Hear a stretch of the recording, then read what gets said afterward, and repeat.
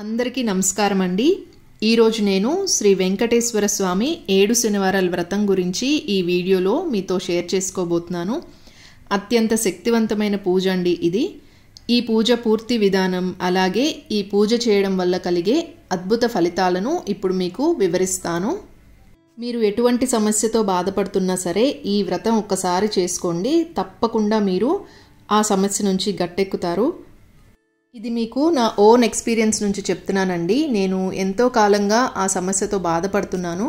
అయితే ఈ వ్రతం ఆచరించడం మొదలుపెట్టిన రెండో వారానికల్లా నాకు మంచి ఫలితం అయితే దక్కింది. అందుకే ఇంతటి మహిమగల పూజని మీ అందరితో షేర్ చేసుకోవడం కోసం నేను ఇక్కడ పూర్తి వివరాలను మీకు తెలియచేస్తానండి ఈ పూజని అత్యంత సులభమైన పద్ధతిలో ఎలా చేసుకోవాలి అలాగే ఇక్కడ పాటించాల్సిన విధి విధానాలు అన్నీ ఇప్పుడు మీకు ఈ వీడియోలో నేను మీకు చూపిస్తాను. ఏదో ఒక శనివారం రోజు మనము ఈ పూజను ప్రారంభించవచ్చండి. ఎవరైనా సరే ఈ పూజను చేసుకోవచ్చు. ఆ రోజు పొద్దున్నే నిద్రలేచి ఇల్లంతా శుభ్రం చేసుకున్న తర్వాత తలకు స్నానం చేసి ఆ తర్వాత మనము ఈ పూజని స్టార్ట్ చేసుకోవాలి. అయితే మనము సపరేట్గా ఈ విధంగా ఒక పీఠంలాగా ఏర్పాటు చేసుకొని అప్పుడు ఈ పూజను చేసుకోవాలండి. ఒక పీటకు పసుపు రాసుకొని కుంకుమ బొట్లు పెట్టుకున్న తర్వాత బియ్యపిండితో మనము పద్మ ముగ్గుని వేసుకోవాలి. ఖచ్చితంగా బియ్యపిండినే యూజ్ చేసి ముగ్గు వేసుకోవాలి. ముగ్గు వేసుకున్న తర్వాత పసుపు కుంకుమ చందనం అలాగే కొన్ని అక్షింతలు వేసుకోవాలి. ఆ తర్వాత పీట మీద ఈ విధంగా ఒక పసుపు రంగు జాకెట్ ముక్కని పరుచుకోవాలండి.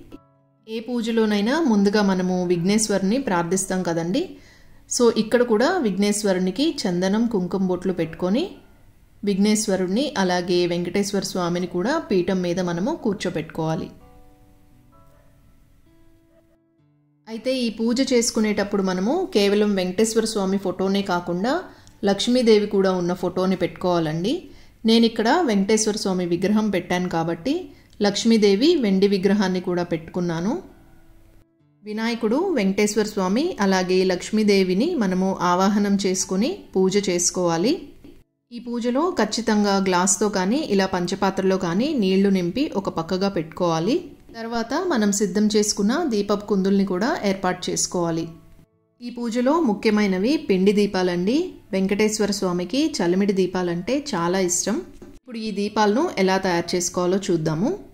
ఇవి చేసుకోవడానికి మనకు కావాల్సింది బియ్యం పిండి అలాగే తురుముకున్న బెల్లము ఆవు పాలు అరటిపండు బియ్యపిండిలో తురుముకున్న బెల్లము అరటిపండును వేసి వీటన్నిటినీ కలిసేటట్టుగా మనము మిక్స్ చేసుకోవాలండి.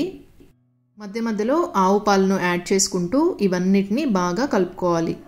ఈ దీపాలను మనము తయారు చేసుకున్న తర్వాత ఒక అరగంట సేపు అలా వదిలేసామంటే అవి బాగా నాని మనము నూనె పోసి దీపం వెలిగించినప్పుడు బాగా వెలుగుతాయండి. ఇలాగా పిండిలాగా కలుపుకున్న తర్వాత వీటిని మనము రౌండ్గా బాల్స్ లాగా చేసుకోవాలి. ఇప్పుడు మీరు వీడియోలో చూపిస్తున్నట్టుగా ఈ విధంగా బొట్టనవేలితో మధ్యలో రంధ్రంలాగా తయారు చేసుకోవాలి. ఎక్కువ నూనె పట్టే విధంగా ఈ విధంగా తయారు చేసుకోవాలి. ఇప్పుడు మనం పెట్టుకున్న పీఠం మీద ఏడు తమలపాకులను వేసుకుని వాటి మీద మనం ఈ పిండి దీపాలను ఏర్పాటు చేసుకోవాలి. ఈ దీపాలకు గంధము అలాగే కుంకుమ బొట్లతో అలంకరించుకోవాలి. ఈ పిండి దీపాలను మనము ఏడు తయారు చేసుకోవాలండి. తర్వాత ఇంకా వెంకటేశ్వర స్వామిని పువ్వులతో అలంకరించుకోవాలి. ఇక్కడ గుర్తుపెట్టుకోవాల్సిన ఇంపార్టెంట్ విషయం ఏంటి అంటే కంపల్సరిగా తులసి దళం అనేది మనము వెంకటేశ్వర స్వామికి అలంకరించాలండి. ఆయనకి తులసి దళం అంటే చాలా ఇష్టము. తప్పనిసరిగా ఆ తులసి దళాన్ని మీరు ఈ పూజలో వినియోగించండి. వెంకటేశ్వర స్వామి అలంకార ప్రియుడండి. మీరు వివిధ రకాల పువ్వులతో అలంకరించి తులసి దళం తప్పనిసరిగా పెట్టండి. ఈ పూజను మనము ఉదయం లేదా సాయంత్రం ఎప్పుడైనా చేసుకోవచ్చు కానీ ఉదయం చేసుకుంటేనే చాలా మంచిది. ఈరోజు మనము పానకం వడపప్పు చలిమిడి బెల్లం అలాగే ఏదైనా నైవేద్యాన్ని మనము దేవుడికి సమర్పించవచ్చు. ఇవన్నీ వెంకటేశ్వర స్వామికి ఎంతో ఇష్టమైన నైవేద్యాలండి. ఈ కలియుగ దైవాన్ని వడ్డీ కాసుల వాడు అని కూడా అంటూ ఉంటారు కదండీ. అయితే ఈ పూజను మనము ఏడు వారాలు కాకుండా ఎనిమిది వారాలు చేయాల్సి ఉంటుంది. స్వామివారికి అసలు కన్నా వడ్డీ అంటే చాలా ఇష్టము. ఏడు వారాలు పూజ అయిపోయిన తర్వాత ఒక వారం వడ్డీ కింద మనము పూజ చేయాలండి. ఈ దీపాలను తప్పనిసరిగా ఆవు నెయ్యితోనే వెలిగించాలండి. అలాగే ఒత్తులు కూడా మనము ఏడు ఒత్తులను ఒక ఒత్తిగా చేసుకొని దీపం అనేది వెలిగించుకోవాలి. ప్రతి ప్రమిదలో మనము ఏడు ఒత్తులనే వేసుకోవాలి. పిండి దీపాలలో ఆవు నెయ్యి వేసుకొని మామూలుగా మనం పెట్టుకున్న కుందులలో నువ్వుల నూనె వేసుకోండి. శనివారం రోజు నువ్వుల నూనె దీపాలు వెలిగించడం ఎంతో శ్రేష్టం. ఇప్పుడు ఏకహారితో మనము దీపారాధన అనేది స్టార్ట్ చేసుకోవాలి. ఇప్పుడు అగ్గిపుల్లతో డైరెక్ట్గా చేయకూడదండి. ఈ విధంగా అగరబత్తి యూస్ చేసి ఏకహారతిని యూస్ చేసుకుని మనము దీపారాధన చేసుకోవాలి. ఈ పూజ చేసుకోవడం వల్ల ఎంతోమంది ఎన్నో మంచి ఫలితాలను పొందారండి. రుణబాధలు కానీ అనారోగ్యం కానీ సొంత ఇల్లు వ్యాపారం ఉద్యోగం ప్రేమ వివాహం ఇలా ఏది కావాలన్నా సరే మీరు ఆ భగవంతుణ్ణి సంకల్పించుకొని మనస్ఫూర్తిగా వెంకటేశ్వర నామాన్ని స్మరిస్తూ ఈ పూజ చేశారంటే తప్పకుండా మీకు ఈ ఏడు వారాలు కంప్లీట్ అయ్యేలోపే మీకు రిజల్ట్ అనేది ఉంటుంది. ఎవరికైనా సరే శనీశ్వరుడి ప్రభావం ఉంటుందండి. శనీశ్వరుడిని ప్రసన్నం చేసుకోవాలంటే వెంకటేశ్వరుని మనము స్మరించినట్టయితే శనీశ్వరుడు మనకి శుభ ఫలితాలని కలిగిస్తారు. ఈ పూజ చేసేటప్పుడు మనము ఒంటిపూట భోజనం చేయాలండి. ఈ పూజని ఖచ్చితంగా ఏడు వారాల పాటు మనం చేసుకోవాలి.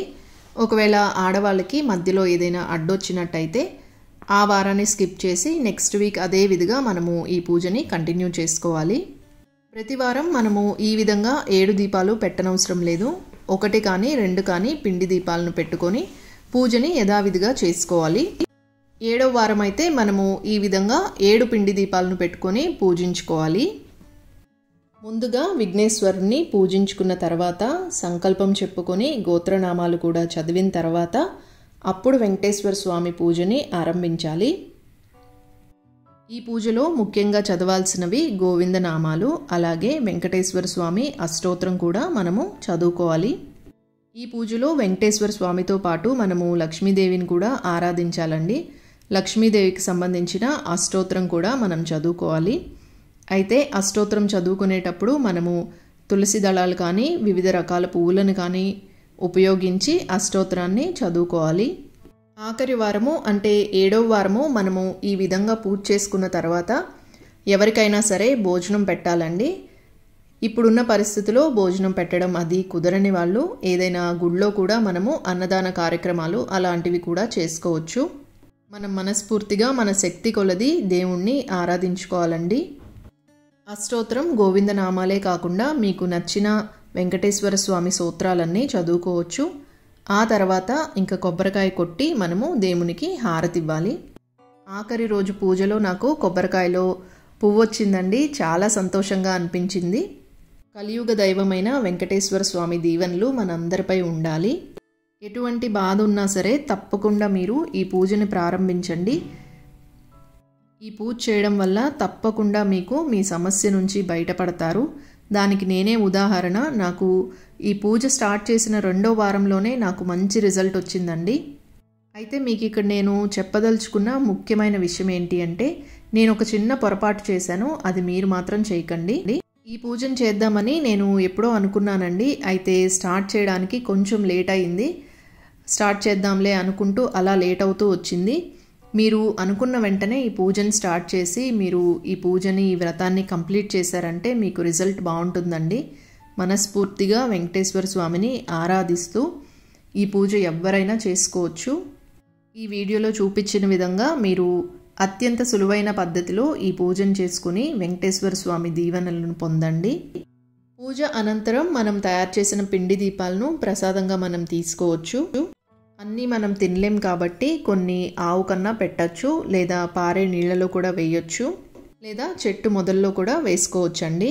అయితే వీటిని తప్పనిసరిగా ఎవరు తొక్కని ప్రదేశంలో మనం వేయాలి. పూజ మనం పూర్తి చేసుకున్న తర్వాత దేవుడికి హారతిచ్చి ఆ తర్వాత మనము ధూపం కూడా వేయాల్సి ఉంటుంది. ఇంట్లో మనము సాంబ్రాణి ధూపం వేసుకుంటే చాలా మంచిది మంచి పాజిటివ్ ఎనర్జీ అనేది వస్తుంది. ధూపం వేసిన తర్వాత మనము ఆత్మ ప్రదక్షిణ నమస్కారం అలాగే సాష్టాంగ నమస్కారం కూడా చేసుకోవాలి. కుదిరితే ఆ రోజు మీరు మీకు దగ్గరలో ఉన్న వెంకటేశ్వర స్వామి మందిరాన్ని కూడా దర్శించవచ్చు. ఈ శక్తివంతమైన పూజ గురించి మా అమ్మమ్మ నాకు చెప్పారండి. మా అమ్మమ్మ పేరు పద్మజ పసుపులేటి. మా అమ్మమ్మ చెప్పడం వల్లనే నాకు ఈ పూజ గురించి తెలిసింది. మీ అందరికీ కూడా ఉపయోగకరంగా ఉంటుంది అని చెప్పి నేను ఈ వీడియోలో షేర్ చేస్తున్నాను. ఎన్నో మంచి మంచి విషయాలు మా అమ్మమ్మ షేర్ చేస్తూ ఉంటారండి. మా అమ్మమ్మ కూడా ఒక యూట్యూబ్ ఛానల్ ఉంది. లింక్ని నేను డిస్క్రిప్షన్లో ఇస్తాను. వీలైతే చెక్ చేయండి.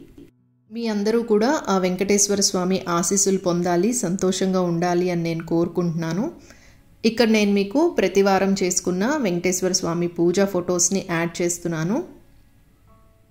ఇదేనండి ఇవాళ వీడియో. ఈ వీడియో మీకు యూస్ఫుల్గా ఉంటుందని నేను అనుకుంటున్నాను. వీడియో నచ్చినట్టయితే తప్పకుండా వీడియోని లైక్ చేసి ఇది చాలామందికి మీరు షేర్ చేయాలని నేను రిక్వెస్ట్ చేస్తున్నాను. ఎందుకంటే ఇటువంటి అద్భుతమైన పూజల గురించి ఎంత ఎక్కువ మందికి చెప్తే మనకి కూడా అంత పుణ్యము. తిరిగి మరొక మంచి వీడియోతో మీ ముందుంటాను. అంతవరకు నమస్కారం.